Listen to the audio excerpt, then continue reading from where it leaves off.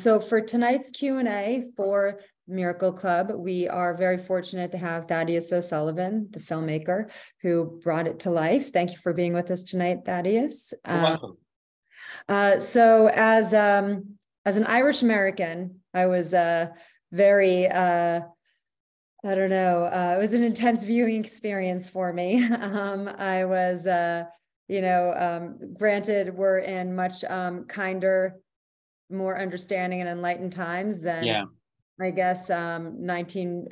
I guess when things came to pass, the well, the instigating events. I was thinking about this before our call started. The instigating events presumably would have been in the mid to late twenties yeah yeah yeah so i was trying to do the math on yeah how old some of the characters were supposed to be so so really even well before the 1967 setting the, of, of the events as we see unfolding so so then i guess early 20s late 20s so um um so yeah it's really even even though it's quite um quite a different world we live in today thank god um you know i did feel and see echoes of uh, familiar faces and familiar attitudes in some of the characters.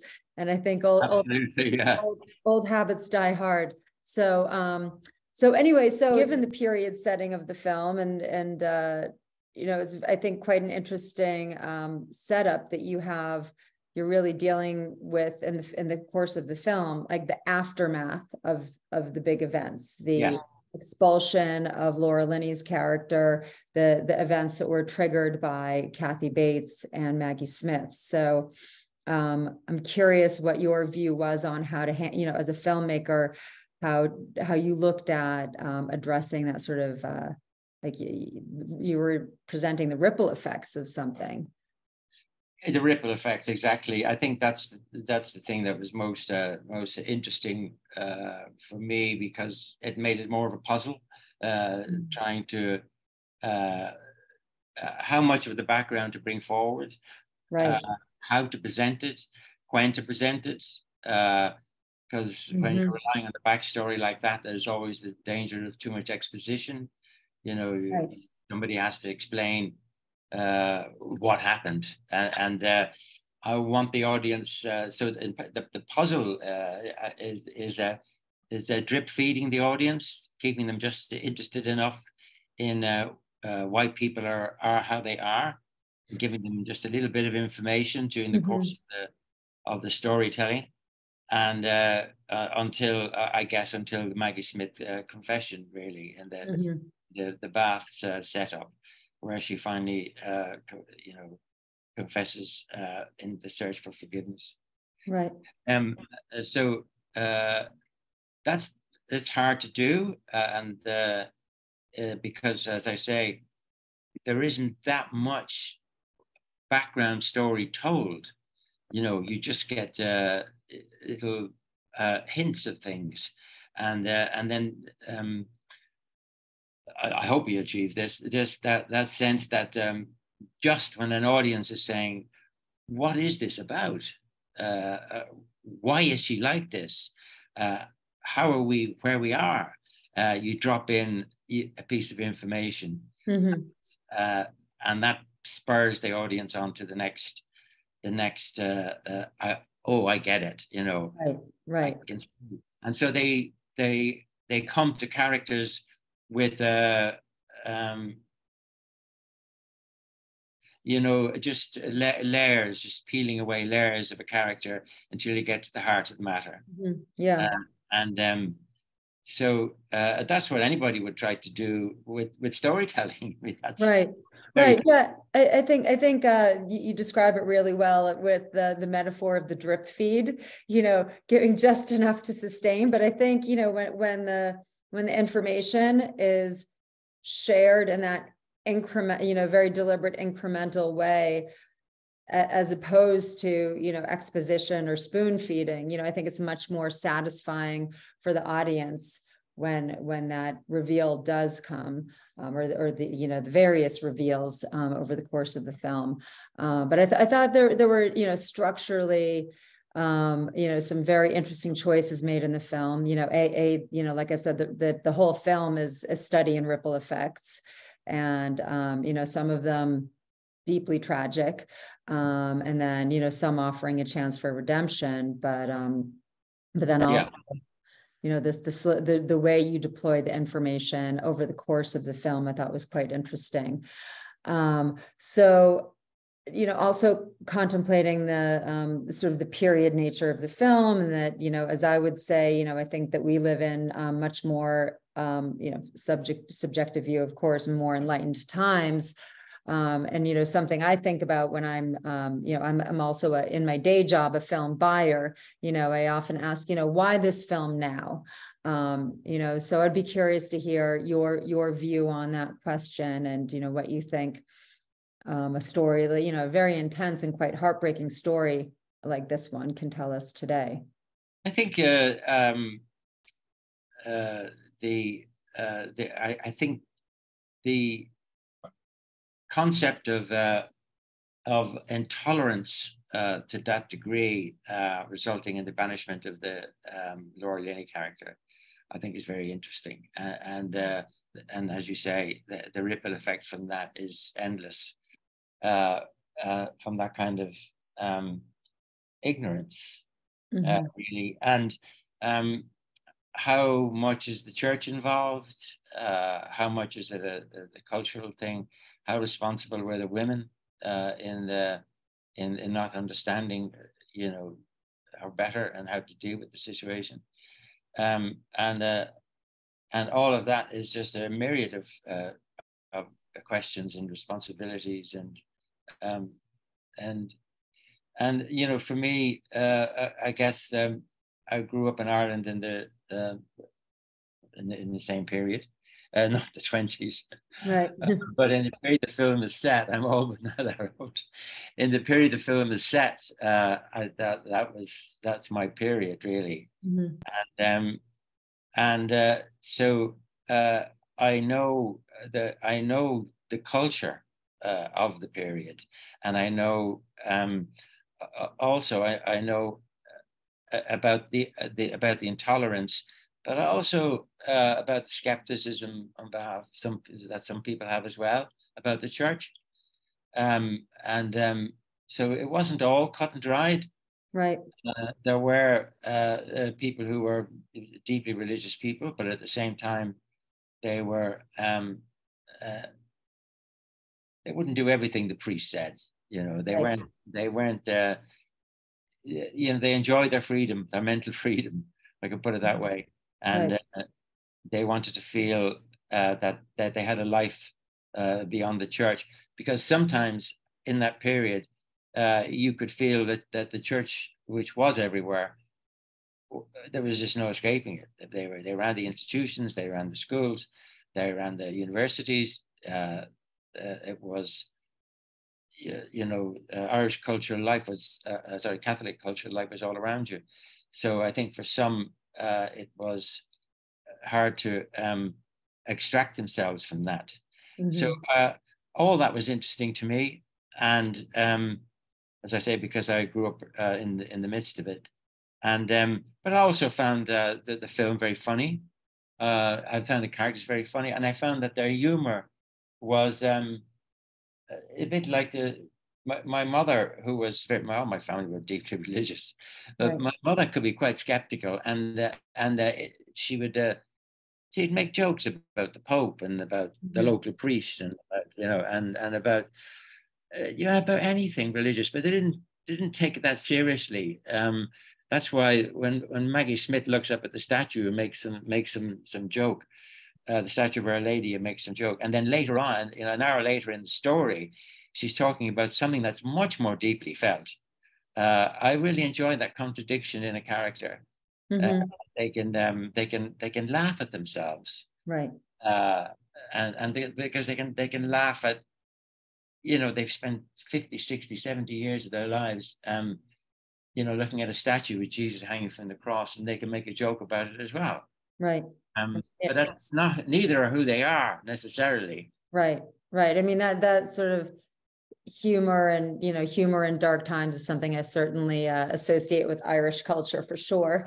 So um, so um, you know, speaking of Maggie Smith, I mean, she's uh, one of uh, you know your three extraordinary veteran actresses who are who are uh, t- you know um, vital to this film being as beautiful and touching as it is. Um, how was it uh, landing them? Did you have a vision on, you know, were those your first picks and were you, uh, um, how hard did you have to chase them? Any interesting backstory on on their involvement and how it came to be? Um, Maggie Smith and uh, was first attached a very very long time ago before mm. I had anything to do with it, and uh, so was so was Kathy Bates uh, and uh, Laura Linney came on during my period of development, uh, and um, so I, I, had no so I just I just worked with Kathy and and Maggie over the last few years, showing them the the, the, the developing script uh, to see if they were still on board, if they liked it, if they, they liked the way things were going,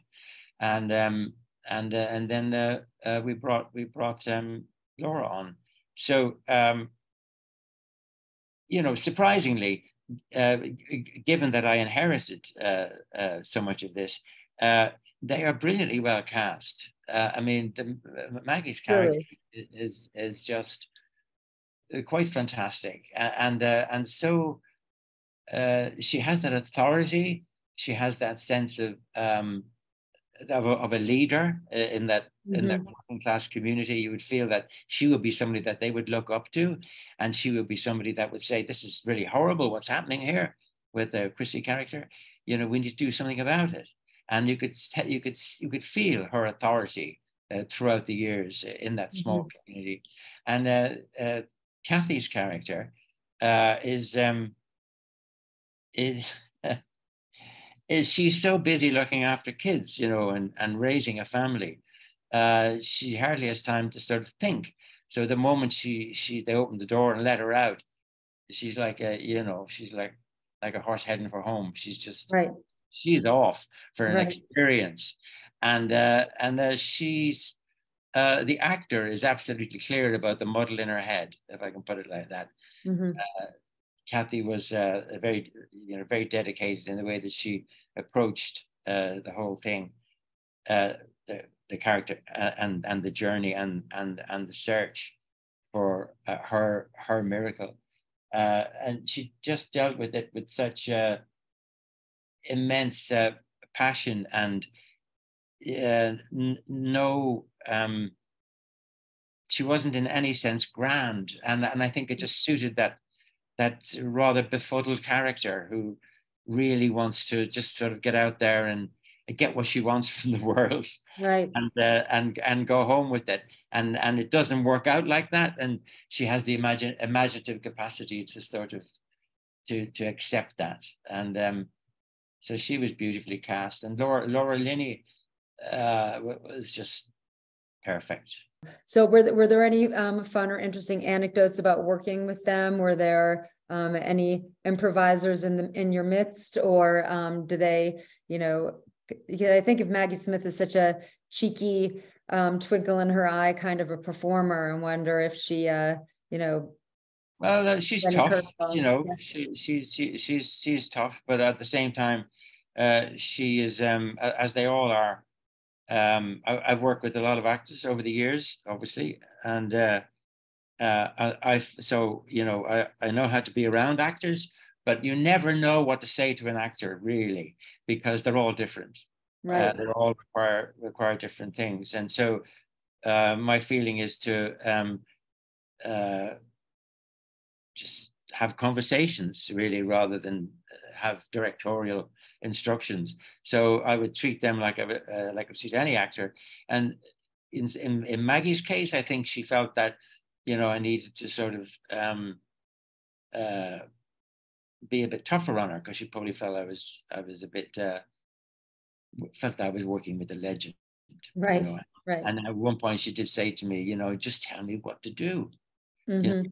um, Laura uh, is just one of the most uh, uh, easiest people to talk to. So uh, we talked a, a, lot through the different different drafts, some which were working, some which weren't working. So we had a lot of conversations on Zoom, uh, and um, she uh, has her own particular way of approaching uh, the arc of a character, mm-hmm. uh, but at the same time, and so that would be very defined. But at the same time, she could um, she could change if uh, the environment, the the the, the you know, rehearsing with the other actors or the or the location wasn't working in, in way that some way that we'd all predicted. She was fantastically adaptable. Right. And uh, she always found a way to bring what, what it was that uh, intrigued her in the scene. She always had a way of, of uh, taking, even if things were changing, of getting a kernel of that, hanging on to something mm. special in that and, and, and, and showing it. Um, uh, and that's quite complicated. Um, and um, uh, Kathy uh, was was very much um, uh, the sets were very detailed. The working class community, and right. uh, we had a brilliant uh, design team, and they were all the details very good. So she would go around the set, and she would be touching everything, and what's this doing, what's that for? Because she uh, she has an Irish background, but a long way back, so she doesn't. Uh, there's certain things she wouldn't know about that we would talk to her about. But she loved, uh, you know, she just loved feeling it, uh, mm-hmm. the, the space and uh, what was in it and uh, the detail. Uh, so she got a big kick out of that. Right. And uh, it really helped her as an actor. Uh, so I didn't have to do much there. There was a bit of a lot of work to do on accents, of course. Mm-hmm. You know, there's all that, um, right.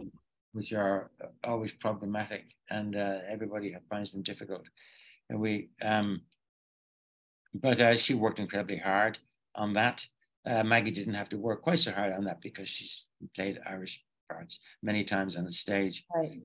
Uh, and um, and Laura, we decided not to have an accent because she'd been away 40 plus years. Right. My experience of Americans, uh, uh, American uh, Irish emigres in America, is that uh, they, uh, in a true American way, they to get on, you have to be American. Right. Uh, they lose their accents uh, very quickly. Um, mm-hmm. And so maybe not as uh, quite so much as the, as the, as the Laura character, but um, I think it was a good decision to not to have her do an action to to yeah. Yeah and I and I think even if she had done one, it would probably only be you know a light one um, and then you'd be debating the matter of the degree and you know how to keep it consistent throughout the film you know so i think i can see how it was the the right call um, yes. now now another question about the material and you know very much allowing that um, you know this is a question from 2023 point of view um, you know something that was striking to me was i felt like what concessions were made by Kathy Bates and Maggie Smith, and what apologies, such that they were at all, were were levied at all, were given so begrudgingly. And you really, they were practically crow, you know, you practically needed a crowbar to get those apologies out of them.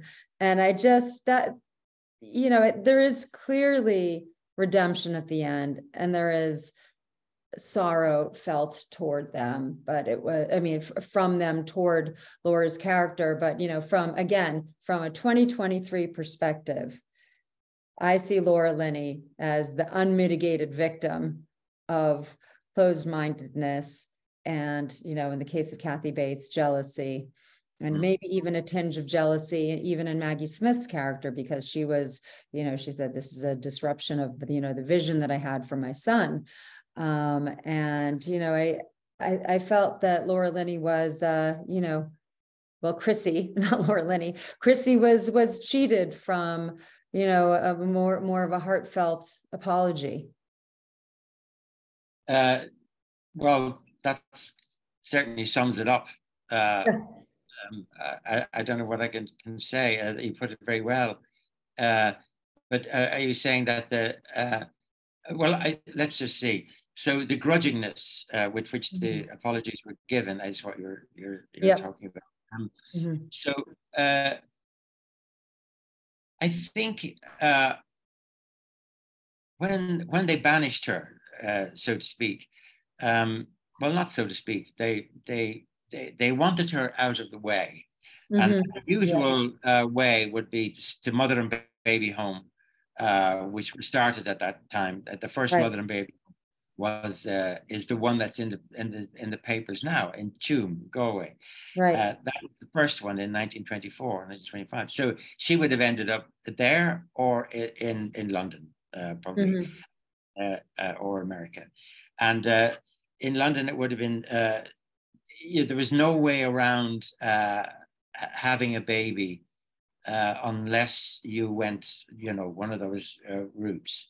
And uh, mm-hmm. in, if you went into a mother and baby home in Ireland, the baby would probably have been, uh, probably would have died of malnutrition, is what we're lo- what we're looking at uh, now these days, mm-hmm. looking at the history of of, mm-hmm. of these places, and um, or, or, given up for adoption, and quite often mm-hmm. without the permission of the mother.